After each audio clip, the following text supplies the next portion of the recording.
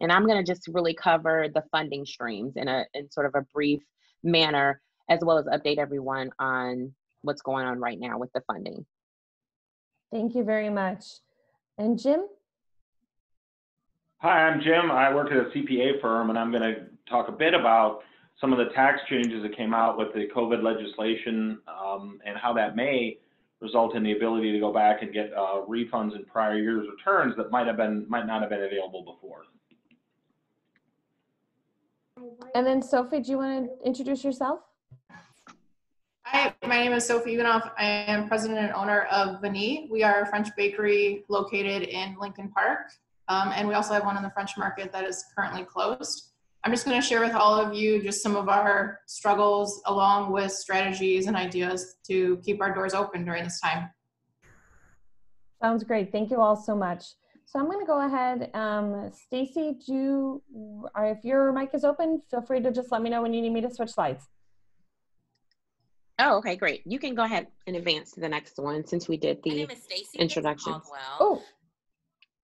Uh-oh. You can go to the next one. My name is Stacey okay. Love technology, right? I was trying to figure out how can I record over these slides. So that may have been a slide that I recorded over before. All right. No so, problem. And just, I'm sorry, Stacey, just so everybody knows, we are going to record the session so that way we can use it um, for future use and then we'll house the recording as well. So if you um, do have any questions, feel free to utilize the chat or jump in as you see fit. Thank you. All right, well, welcome everyone. Um, thank you so much, uh, Colleen, for having me. I definitely think this is going to be a great webinar. Um, again, I'm Stacey Pitts Caldwell. I work really closely with small businesses um, throughout the state of Illinois. And so, what I wanted to sort of share with you are the funding options that are open. But before we go through them, and I have sort of these slides for each one of the ones that we vetted and we know about. But before, I just want to kind of let everyone know that yes, there has been a pause in the funding. So um, when I say that, what I mean is we're going to talk through several different streams. So the first stream we're going to talk about is the economic injury disaster loan. It also has an advanced component. We're going to talk about the city of Chicago funds, the funds from the state of Illinois for small businesses, Cook County has something coming out, and then we'll we'll sort of end with the Paycheck Protection Program, and I'll talk a little bit about the um, Downstate Stabilization Fund. Um, so, Colleen, you can go back to the first one. I was just giving an overview of the funds we're going to cover. So, if we get started, I just want to say so the Economic Injury Disaster Loan is the very first one that um, kind of launched out, and this this fund is via the SBA, so this U.S. Small Business Administration. Um, this is a, and go back one more, uh, Colleen. This is the advanced one. There should be one right before it. There we go. Um, so this is the loan that is for working capital, business expenses, payroll, um, which is a huge focus on payroll. The funding source, again, is the U.S. Small Business Administration. Um, these are just the basic requirements that I'll go through for each stream. And so the revenue max for this one is between 35 million and 39 million based on your industry type. And what I mean by revenue max is um, this is actually how much your small business um, can max out at revenue to be able to apply for this loan. The employee max for your small business is going to be up to 500 employees, which let me just clarify that in the state of Illinois, a small business is defined as under 500 employees and under 10 million in revenue. So just kind of keep that in mind as a framework. The loan amounts here for the EIDL is up, up to 2 million per business. The interest rates are 3.75% for small businesses and then 2.75% for nonprofits. So yes, nonprofits can apply for this loan your geographical requirement when i'm when i say that some of these loans have you have to be in illinois or you have to be in the city of chicago so that's what i'm referring to there and then how to apply so right now as of yesterday you can no longer submit an application for this loan um, there are three loans that have been put to a halt and that is this one um, and the advance portion of it, because I'll go into it next. Um, the advance is a part of this, and then also the, the paycheck protection. Um, the economic injury disaster loan has a ton of different variables. So this is just a snapshot. Um, you definitely can go on the SBA website to find the particulars of this loan, but it's in general what's happening is they're looking at how can we help the small businesses um, with emergency funding. Typically, before they halted the funds, the loan has been taking about 20 to 30 days to complete. So the entire application process has taken 20 to 30 days. And so because of that, and we can go to the next slide, um, they introduced the EIDL Advance. And so that just means basically there's a quicker way to access about up to $10,000 in funds but if you really look at it for small businesses, this is really about a thousand dollars per employee. That's kind of the way to think about it because it is again, it's employee and payroll centered. Also funded by the. I don't know if it's appropriate to ask questions, but um, are both are all these other funds also out of money? So if you haven't heard from them yet, because I applied for it when it first opened, it, uh, Yeah, or so are the they still in process? So the only funds that are out of money right now are going to be the the funds that are filtering their appropriations right? So they're the actual ppp is out of money and the eidl the sba is now out of money. Um, that doesn't mean that it, they won't get money. And and so i'll just speak to that right now since you asked that question. So what's happening right now is that originally um, they the request for 349 billion dollars was was at was uh, it was requested via the CARES Act. So that max has hit. The lenders um, have all stopped taking applications. Um, but let me let me go through. So t- toward the end, I'm going to talk a little bit more about the Paycheck Protection Program. It's sort of it's sort of at the end. So let me But just go you're- but- through. But if your pre- if your uh, applications are in, is it still possible to get funds out besides the PPP, or is that all on hold for any federal government loans? Yeah, it's all on hold right now. So, for example, if you put an application in, you haven't heard anything back, um, we won't know until it depends on how much money they've already issued out. And so that's something that we won't know right now. So, as of right now, everything is on hold. Does that make sense? Okay, so Yes, the thank you. EIDL advance, yeah, you're welcome. The EIDL advance is really just a ten, up to ten thousand dollars from the other loan, from the EIDL loan. So that's why this one is also on hold because ti- what's happening with this was just an advance to get to businesses sooner. Um, and it doesn't need to be repaid, but it does filter from the original EIDL loan. So it is also on hold. There is a separate application for this. So to my knowledge, as of this morning, they were still taking applications for the advance piece of it. Um, however, I believe that's going to halt because the news of, of the funds being dried up just um, came out on yesterday. But this slide does still have the actual link. Um, next slide. So to my knowledge and from what I have heard and spoke to with our partners, um, these other loans are still accepting applications. So if you are a City of Chicago uh, small business, meaning you're headquartered in the City of Chicago, um, you can still apply for the City of Chicago Small Business Resiliency Fund. It's um, the loan uses are for working capital, but at least half of that has to be for payroll and maintaining your workforce at 50% or greater for a minimum of six months. So, who qualifies? The small businesses that are less than 3 million in revenue, and that's pre COVID um, revenue. So, not less than 3 million in March. Um, go back for me. Colleen, can you go back one to the, oh, sorry. Okay. For 3 million in revenue. And then also, you have to have fewer than 50 employees, of which half need to be Chicago residents. So that's a key um, component there for this program. Um, the loan amounts are up to $50,000 but they they're qualifying that against what's your three month average monthly revenues pre-COVID. That's how they're going to look and assess the amounts that you qualify for. After that amount, it's 1% for the interest rate for the first year and a half, and then 5.75 interest rate for up to a five year term. Again, you have to be located in the city of Chicago for at least one year, and you do need a city of Chicago business license. So um, just want to make sure that you guys understand that. Um, be aware that when you apply for this loan, it does put you into um, on the internet when you apply. It's through Connect to Capital. That's just the site that the city of Chicago is using to manage and hold these applications. Next slide, please. Quick question on that. Is, is that the one that originally had a limitation on you couldn't earn if you were a restaurant over $800,000 or is that a different one? That's a different one. Okay, so that this one, okay, I didn't apply for this one. Thank you. Mm, Sure.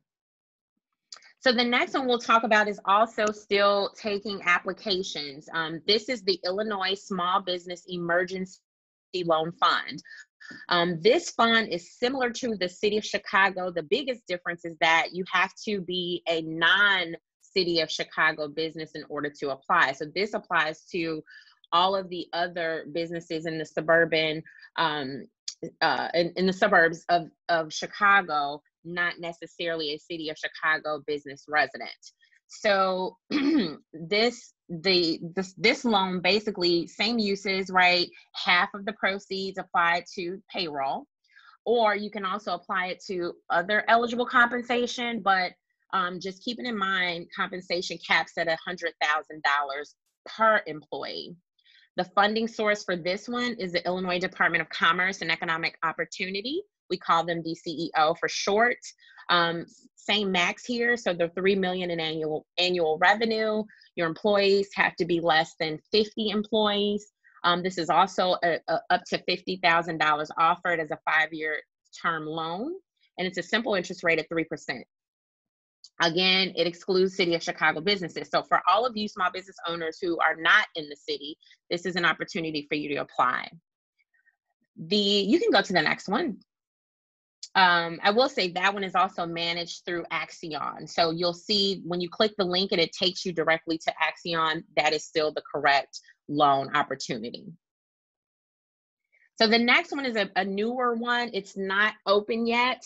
Um, this is Cook County Community Recovery Initiative.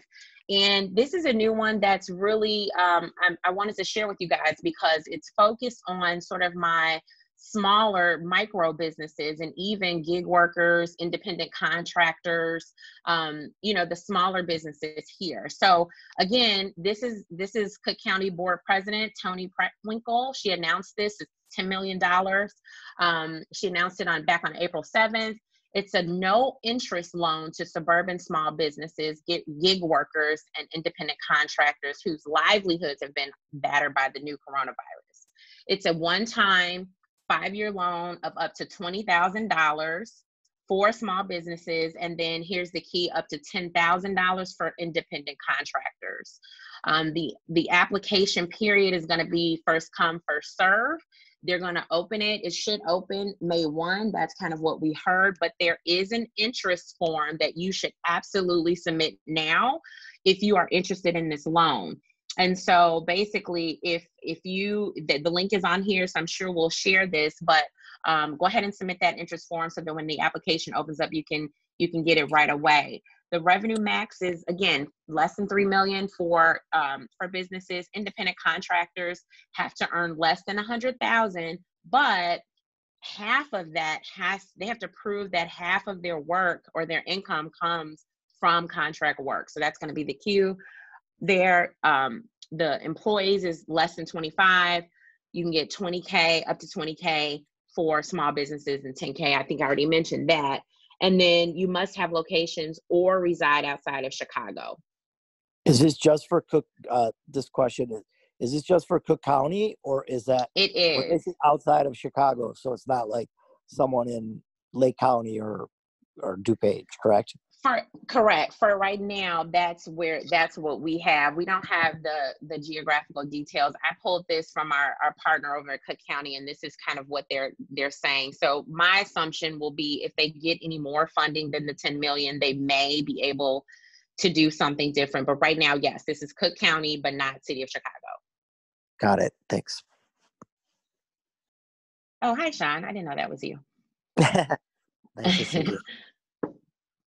All right, so this is the one everybody wants to talk through, and I don't want to like hijack the whole presentation, so I'll go through this pretty quickly. But um, basically, the Paycheck Protection Program, so that everyone understands. You know, my goal is so for the small businesses understand why and how this plays into the the SBA.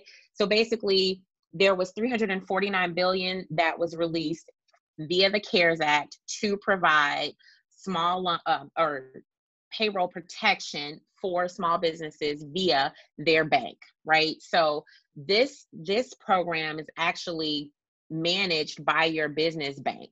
So if you are a um, you know a chase customer you have to go through your bank to access these funds. As of yesterday they are not accepting any more applications because they have hit 338 billion of fund requests already within in less than two weeks so right now, as of this morning, um, Congress was asked for 250 billion more, um, but that was not yet approved. It's not approved. They're still in negotiations.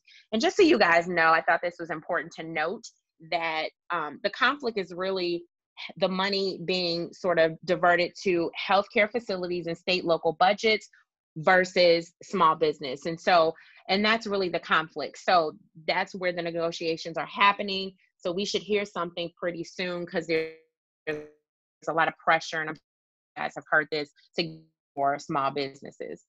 Um, but just so you know, so when this opens up again, if it flow, if the money gets appropriated and flows through again, you'll know and be ready to apply.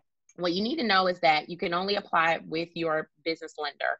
So call your banker, use your online portal however whoever you do your, have your banking your business banking relationship with that is who you need to work with um, the specifics on this one is basically that 75% of the amount that you request has to go to your payroll. So that's bringing people, rehiring people if you've laid them off, if you've furloughed any employees, bringing those people back on um, between I think up into up through uh, I'm looking at the date. Sorry, here June 30th is the date that you would need to do this by. So basically, 75% of whatever you're going to ask for through this um, through this loan, and it's up to 10 million. But basically, it's determined by eight weeks of your 2019 average payroll, right? So whatever your 2019 average payroll is, that's what they're looking at. That's how they're going to assess how much to give you. So, based on that, 75% of, of that money that they give you needs to go back into hiring and keeping your employees. 25% of that can be used for utility for your space, your location, your rent, um, and things of that matter. But that's a, an important note because when you apply, they're going to ask for your payroll documents and that you you'll need to have that in order. Less than 500 employees is the employee max. Um, there, there wasn't a revenue max that I could find, and I've spoken to several people at the SBA. So right now, that's not specified. Um, it's you know it is a national, a federal program, so the ge- geographically anyone can apply, and then basically you just need to work with your lender. So there is no one, there is no generalized application link. What I did share here is what the SBA kind of came up with to give you an example of what would what you would need to have in order to apply for the paycheck protection program. Stacey, it's Colleen. There's been a couple of questions popping up in the chat about sure. um, PPP. Um, one question was, I've heard that if you were approved for PPP, that you cannot apply for the EID loan. Is that true? No, so that's not true. Um, the EIDL loan is specifically from the SBA. And so, as a part of, if you apply for an EIDL loan first, then and you were and you were approved for that, you could still apply for the PPP via your lender. Now, that said, it is up to your lender because they they have sort of oversight on how to issue these funds to their clients or their customer, banking customers. So it may be the case that your particular lender has um, asked you for information of everything you've applied for, and they're using that as criteria to see who to fund these loans. And they are able to legally do that. Thank you. And there's another question. I'm assuming that the Illinois small business loan is not forgivable. Is the PPP the only forgivable loan? Yes, um, the PPP is the only forgivable loan. Um, and the EIDL advance is also forgivable, th- that portion of it. So um, that 10,000 up to 10,000, 1,000 per employee that we talked about earlier, that is um, not have that does not have to be repaid if you are then approved for the longer EIDL loan. So let's simplify that. If you if you put in a request for fifty thousand dollars to the EIDL and then you went and applied for the advance and got three thousand dollars, you do not have your loan will not be fifty three thousand dollars. Your loan will be fifty thousand dollars. Okay, great. Thank you. There's a couple more questions popping in. We're going to keep moving forward and then we'll answer the questions at the end. Yes, Sure. the recording and the slides will be available to everybody who um, RSVP'd for the session. So we will get that to everybody as soon as we're done. Great. Um, this one I won't take too much time on. It's, it's a very, very specific opportunity. Um, it's called the Downstate Small Business Stabilization Grant. And so this is a grant, so this is not a loan, but you have to, the, the key here is that the funding source is from the Community Development Block Grants. And so there's some heavy requirements around this. But if you are if you are looking for opportunities and you're not located um, in the city or you don't qualify for some other things, you can make an application and an appeal directly to a local unit of government. So wherever you are, whatever county you're in, or whatever um, um, whatever um, village you're in and you may be able to um, great yes here's the map for this so if you look at the areas that are sort of in the stripes there the the stripe the slanted stripes there those are called entitlement areas so those do not qualify so take a look at this there's a lot of detail here so basically um, you have to have been operating since January 2017 at a minimum. You have to provide documentation on the health of the business. You have to enter a participation agreement with local government. Um, and funds may also be used for for profit small businesses that are considered considered non-essential. There's a whole application process, very detailed information, and a guidebook online. So when these slides are sent, you can click that link. Um, and so the next, and I just wanted to give you these resources. These are much smaller, more localized resources, but I have spoken with all of these partners and verified these opportunities. So Facebook has some information coming. Um, this could include ad credits, some cash grants, and maybe even a loan. Um, you can go there to check that out. Yelp for those small businesses that are retail um, type of businesses or businesses heavily relying on reviews and and customer um, in, in engagement they have some upgrades available other services. So click on those links to find those out. Gofundme has an initiative that um, different businesses and corporations are donating to but you can also apply for the funding as small business. So you want to take a look at that um, and then the last one is the Verizon Small Business Reco- Recovery of Funds. They closed their first round and now they're going to reopen their next round. So you can go ahead and submit your interest for that and see if you qualify there.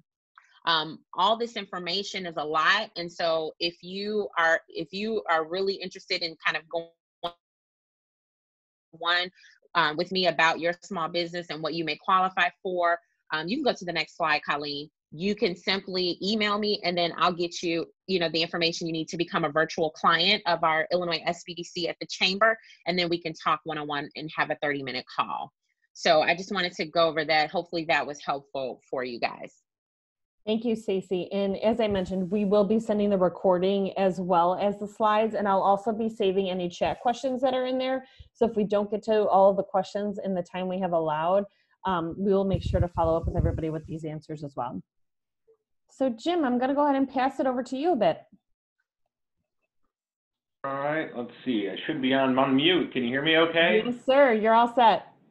All right, great, thank you. So we'll take a look at some of the other uh, things that the CARES Act did, like they changed some tax things that may create opportunities to either reduce your payments for taxes in the current period or go back to prior periods and get a refund where some refunds might not have been available. So I'll try to go through this fairly quickly in that. Um, and just as general, these, this is really just general observations and guidance that, that tax is, of course, very, very complicated. These issues are really interrelated. It depends on specific situations and tax filing statuses and all kinds of stuff. Um, there's another wrinkle that the IRS and the Treasury Department doesn't really exactly know how all this stuff works. They're still make, doing interpretations and clarifying and coming up with the methods to apply for all these things. And so it's very, very fluid right now. But this is what's out there so far with that. And certainly speak to a tax specialist to uh, to find out about your specific situations and circumstances, what might be available in that. And so uh, we'll take a look at some of the. First of all, there's a layer of tax credits that may be available uh, because of the, the new acts and that, and we'll look at a couple of those there. The, the first is the employee retention credit, and um, that is um, available to. Oh, you can go ahead. I'm going to go through them pretty quickly here. So. Um, that's a that's first of all it's a refundable tax credit against your share, the employer's share of Social Security. And so when you calculate the amount of the credit you have, you can actually subtract that from the amount that you would have to fund for your Social Security deposit and reduce your, your deposits to the state. The IRS and the Treasury have already said, yeah, that's okay. No penalties for not not funding that as you otherwise would have to do in that. Um, and if and if you're if the amount of your funding doesn't cover the amount of your credit, you can request a, an advance payment back from the IRS on those. And so that's the opportunity to, uh, to reduce your tax burden in the current period in that. Um, the eligibility requirements of that is that you would have a business that's fully or partially suspended by the government. This is on the next slide, by the way. Um, gross receipts had to have fallen 50% below the com comparable quarter last year. And so your business is off by half, you're, uh, you're qualified with that. Um, it does apply to nonprofits as well as other businesses in that, but it does not apply to state and local governments. And so there is uh, quite a bit of opportunity to, uh, to, to save on some of the filings in the current period in that. So calculating the credits on the next slide there, and that's 50% uh, of all qualified wages up to $10,000 per, per employee that are paid from March 13, 2020 through December 31st, 2020. And so you can calculate that off, see how much that is. Um, if you have less than 100 employees, then it's a credit on all wages to all employees. If it's 100 or more employees, then it's just on those that didn't work in the calendar quarter. And so that depends on your size and how you calculate those things. Um, you can get a PPP loan with this, but if you do, the amount of those payments aren't eligible for the retention credit. And so um, you can't get the you can't get the PPP and then pay people and claim the credit and that uh, that'd be a little bit of a double dip, but does do that. It also doesn't include any wages that you've got a credit for under the uh, paid sick and family leave under the first Family Coronavirus Act, which we'll take a look at right away now. So moving on to the next section there.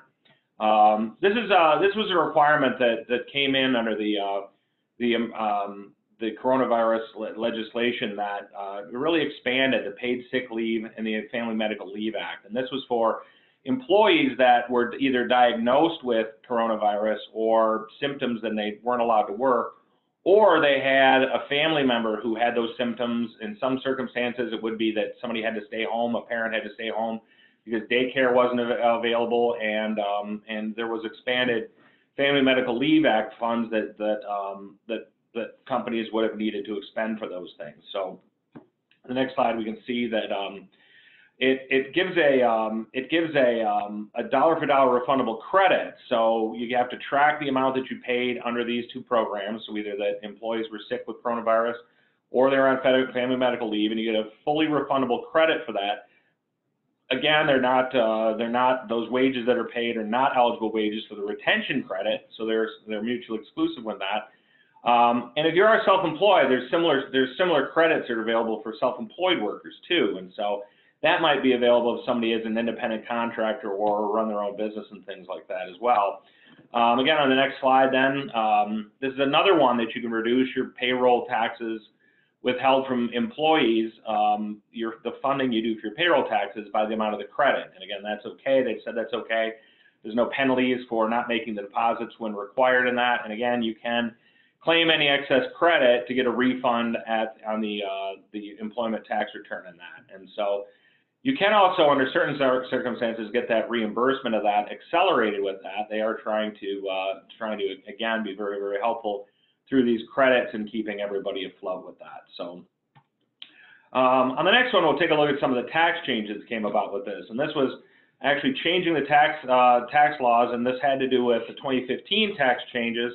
There were some things in there that were overridden, some things that were clarified in that, and some things they, they put in just to, again, increase the amount of cash flowing. And, and first of all, this first one is for um, the nonprofits that, um, that there's, uh, there's now the ability, and it was changed in 2015, where you couldn't take an above the line deduction for charitable contributions. And they put that back in now where a person who doesn't itemize, you take the standard deduction, you can you can take an additional deduction for up to $300 in cash contributions made to qualifying charitable organizations. So any nonprofits out there that rely on the support of the public for things may want to get the word out that they now it's beneficial for the taxpayer and it's certainly helping them out, but they can get the uh, the taxpayers are now right up up to $300 with that. Um, they also increased the limitations of charitable contributions during 2020. Um, it was 60% and 10% for corporations. That's now 100% of AGI for individuals and 25% of taxable income for corporations in that. And you can now carry that forward,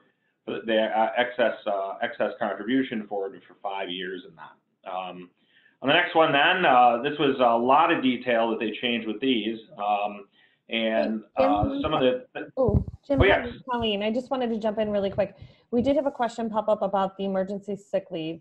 Is it available for those um, that are in danger or high risk categories of taking off work? For example, a worker that had cancer, autoimmune conditions, does that apply? Possibly. It would depend on the circumstance and the documentation on that, but that's certainly something to speak to your employer about because there are there are some allowances for those things. But again, it depends on the circumstances with that. Okay. Um, the first one was, and these are things that may result, depending on your, your circumstance, in a refund that you may be able to apply for for a prior period. Um, the first one is modifications for the use of net operating losses. And in the 2015 uh, tax uh, update, this was restricted to only the last couple years. Now you can take not, not net operating losses back up to five years, uh, beginning with calendar year uh, 2020, uh, 2018, 19, 20 can go back five years. And so you can't yet do anything for 2020 yet. At the end of 2020, if there's a net operating loss, that can roll back up to five years. It goes back to the earliest of the years and can generate a refund for those things because now you had a, if you had, assuming you had a net profit situation, you pay taxes, you can apply that loss back there and apply for a refund of the taxes that you paid in the prior years. Um, but it also applies to 2019. So if, if a company did or an organization had a net operating loss in 2019, those losses can now go back five years and, and be applied to prior income that was paid in the prior five years. So again, something to look at depending on what your circumstance was for um, those prior years. Um, the second one was the, uh, the modification, the limitation of losses. And so losses are, are were generally capped at $250,000. Um, you couldn't carry those back or forward or get any credit for any loss over that. Um, they've now expanded that, and so it could be that if you have a company who hit their net operating losses in the prior years, there may be more available there in terms of applying losses against taxable income. And again, that could result in a refund if you if you looked and refiled your taxes in that. Um, the third one relates to interest paid by businesses. So on any lines of credits in that, um, it was uh, it increases the limit from 30% of AGI to 50% of AGI for uh, 2019 and 2020.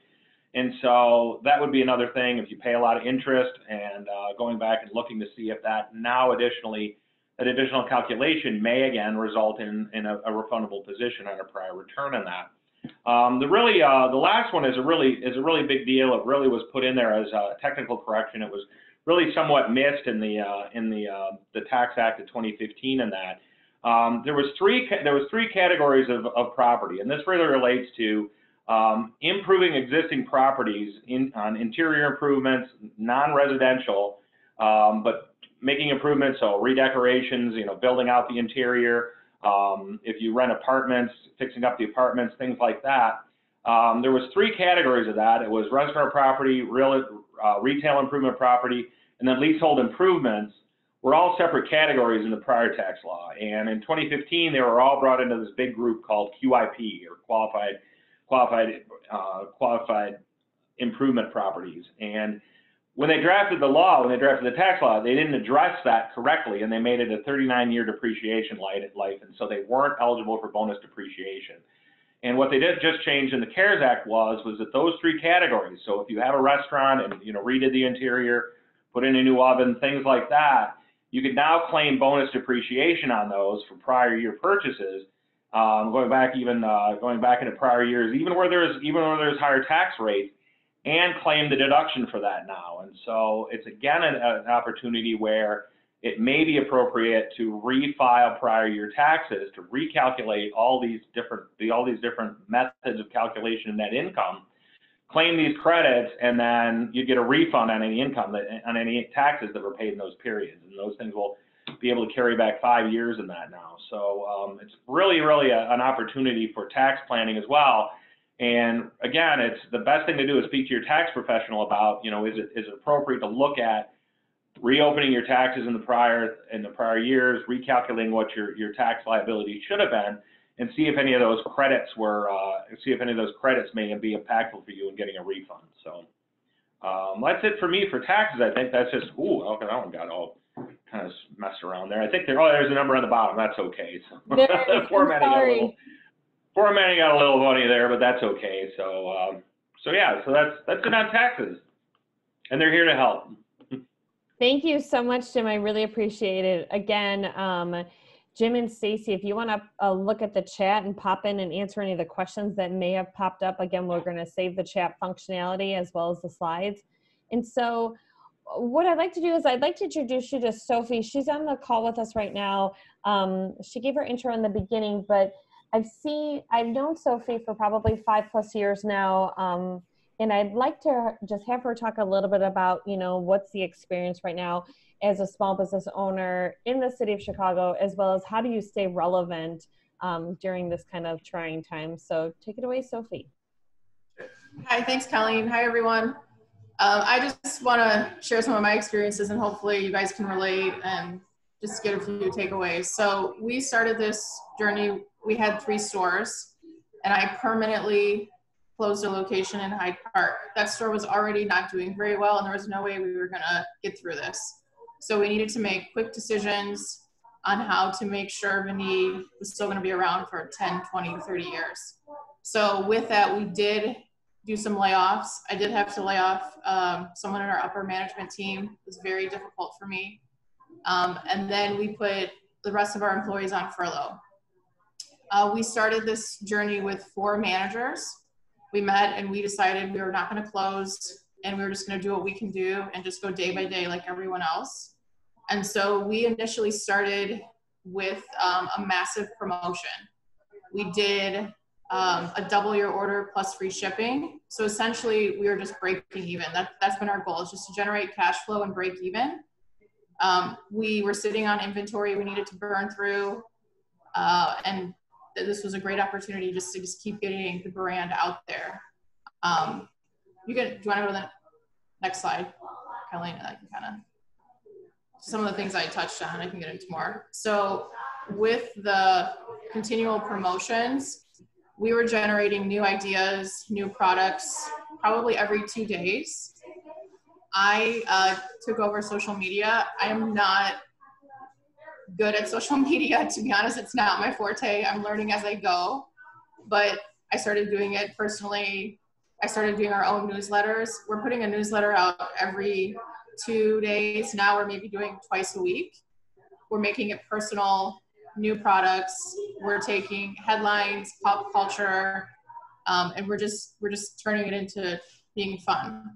I know not everyone is not in food service or a bakery and can make cakes, you know, but whatever your services or your company, find ways to be current, find other companies that you can partner with. We hit up some Instagram influencers and they were more than willing to help. That's another thing today. Everyone is more than willing to help if you're a small business. You know, where some Instagrammers you have to they want fees to post anything. Not today. They're all more open arms. What can we do to help? Um, so you, if your doors are not open, you want to at least be focusing on social media and content so you're top of mind. So when you do open, you're still connecting with your customers. Uh, we also did a huge community um, driven program. It's called Chicago Strong. Again, it was lunch bags and breakfast bags designed at cost for essential workers. So people can sponsor. We've had um, companies sponsor, and that was able to let us bring some of our furlough employees back because we just we needed people just to do work. Um, and our all of our messaging is focused on positivity, humor. We're bringing in humor, and what we found is people want comfort and they want things to do at home. Um, so any your service industry, any videos you can do to share and just keep connecting and be honest. In our newsletters, I generally I've started with personal comments and sentiments for me personally, just letting everyone know what we're going through. And you know, it's a good way to connect. There's some of our so we did a um, we have cupcakes, so we honored we did one with Dr. Fauci on it. A stud muffin. Um, the memes with Lori Lightfoot. Uh, we did a cake and that was one of our examples. We actually partnered with him to do a contest for people to make their own Lightfoot memes. Um, and that literally was just, I just sent him a DM on Instagram and he was more than willing to help out. And through all this too, we've gained 1,200 new followers on Instagram because everyone is on their phone right now. So anything you can get out there, there people are looking at it. Yeah, I think this is great. Um, I started seeing Sophie's um, messages on Instagram, and I was like, man, are you staying super relevant right now in everything that's going on? There was even a video with Mayor Lightfoot. Um, I think she had gotten some macaroons from you guys, but her face is on them, and I thought that was pretty awesome. And then also, just um, you know how you know I I truly applaud your your business. Um, they were doing um, deliveries and so i live on the far south side of chicago nowhere near one of sophie's bakeries and so they did like thursday south side drop off and so a whole bunch of people were doing drop offs on the south side which i thought was really great. Um, and you know especially like the decorating kits especially if you're home with the small children right before the holidays i thought that was awesome. So kudos to you guys on um, staying relevant and you know also tuning up your own skill sets to try and make things um, work for everybody at the organization. Yeah, and I just a couple of things too. Like all these photos that you guys see, they're done on our phones. So uh, we're not doing anything fancy. Like we're literally taking it on our phone, and then we're just using. Um, there's a like, let's look it up. There's a. It's called Canva. So it's a website and an app where you can design flyers and images, and it's free. So a lot of these they were just done in that app um, and so that's that's been really helpful. So i mean we're not we're all doing it in house and i think another thing just trying to find positives too i mean you are going to reopen so focus on what needs to get done. Use this as opportunities. Um, for me you know i don't know a lot of leaders we overthink. And so what this has taught me too is not to overthink. We come up with an idea and we do it. We're not sitting on it and i'm not trying to plan a marketing plan and this plan and who we're going to send it to. You just do it because that's that's the day we're in now. You just got to be present and just get it out. Great stuff. Thanks so much. So I'm going to go ahead and um, open up the chat to see what additional questions have come in. Um, you got a great design. Um, kudos from Stacey. So way to go, Sophie. Um, also, thank you, Stacey. Shared a whole bunch of information in the chat. Again, I'm going to be saving this chat function. If you would like to know how to save the chat functionality yourself, you should see um, where you would type the message, a box with three little dots. If you choose that, um, you should be able then to save it and it'll, when the session's over, it'll save it as a rich text file. If not, I am saving everything for everybody. Um, so don't you worry, you'll get all this information. I also wanted to share with you um, my contact information. So if you do have any questions, feel free to let us know. You know, we're building out our programming um, fast and furious for um, all of our business owners that we're working with within the hub. We also have a COVID 19 link directly on our website. So you can choose there, and that it will be directing you to all the resources that are available through the Loyola Business Leadership Hub. But as questions arise, um, if there was something that you didn't capture during the webinar or didn't have a question that was answered, feel free to let us know, and we're always happy to, um, you know, respond and let you know um, what's the most appropriate resource that we have for you at the university. Um, we have about five more minutes or so. I wanted to open it up to see if there was any additional questions that anybody may want to have. Your lines are all muted right now, but feel free to go ahead and unmute your mic to ask the question to any of our panelists.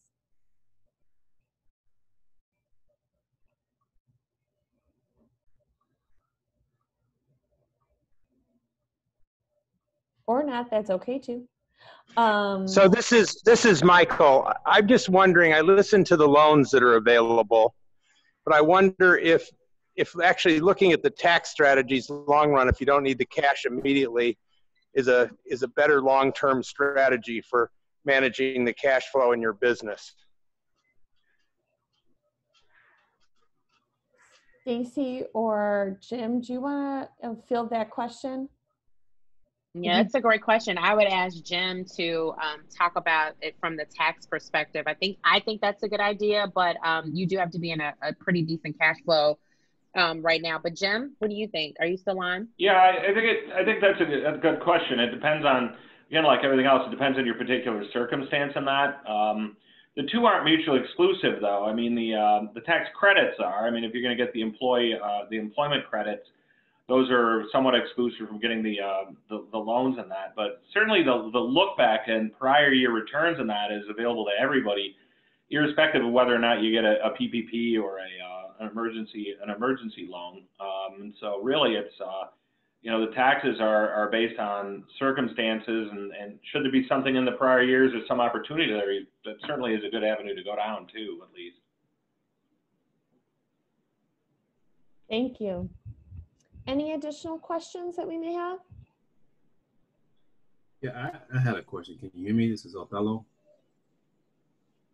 Yeah, I can hear you. Sorry. okay, I had a question uh, with, for Jim about you mentioned about the um, the refunds uh, that you check with your uh, tax advisor. Is, is that just for because of the coronavirus? Is the option rolled out, or is that you know say next year? Because I know most people have already filed for their taxes in 2020 and 2021.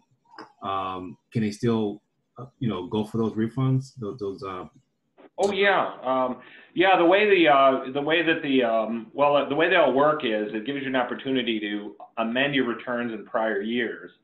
And so, for example, on the net operating loss carryback, if you had a loss in 19 and profit in you know 17, uh, 16, you couldn't roll it back that far. Now you now you may be able to, and so you would go back, amend your 2019 return, and claim the credit in that, and apply for a refund. And um, on some of those other ones, uh, again, they roll backwards too. And so if you built out, for example, if you had a restaurant and in 2018 put a lot of money into redoing the interior of that, um, you would have you would have taken those the, the cost of that and you'd amortize that over 39 years. What this did was they, they it really it didn't have much to do with coronavirus, but it was convenient. They put it into this this bill. They got the, it was technically what they say is that you know Congress always meant for it to work this way. They just forgot when they when they wrote the final bill, and so they would uh, they would go you could go back and say, okay, now it's a 15 year now it's a 15 year depreciation. So you get a lot more depreciation, which is a lot more uh, expense and reduces your taxable income. Plus, you get the bonus depreciation, which brings it even further back, and so you have a bigger write-off in 2018 and you may be and you may be able to claim a, a, refund on the taxes you paid in 2018 because of that. And so that's why all this stuff kind of cascades back. They they weren't all directly related to it, but they were a way to uh, have companies go back and see if they might be able to free up some from cash from what their prior uh, tax positions were. Great, thanks for that. Yeah, thank you. Any additional questions? Okay.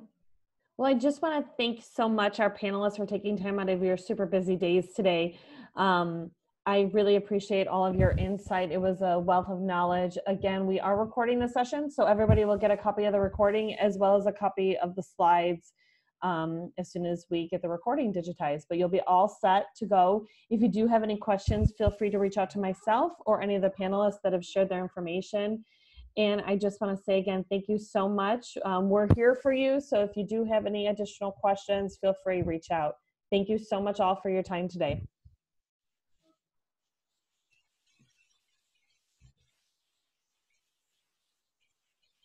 Thanks so much, Carlene. You're welcome, everybody. Thank you so much.